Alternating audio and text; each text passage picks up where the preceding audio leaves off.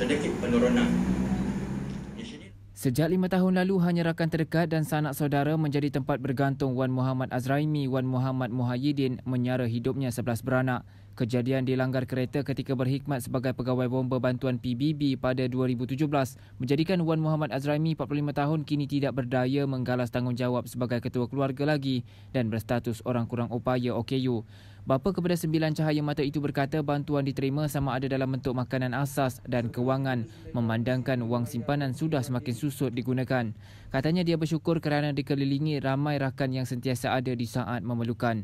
Wan Muhammad Azraimi ditemui di perkarangan Balai Polis Badang Kota Baru ketika menerima bantuan makanan sempena misi bantuan musim tengkujuh anjuran Kelab Peminat Eddie Hamid Fans Club EHFC dengan kerjasama perabot Sri Kota. Majlis penyerahan kepada 50 penerima itu disempurnakan Ketua Polis Daerah Kota Baru, Asisten Komisioner Abdul Rahim Daud dan Penaung EHFC Datuk Zulkarnain Cik Osman.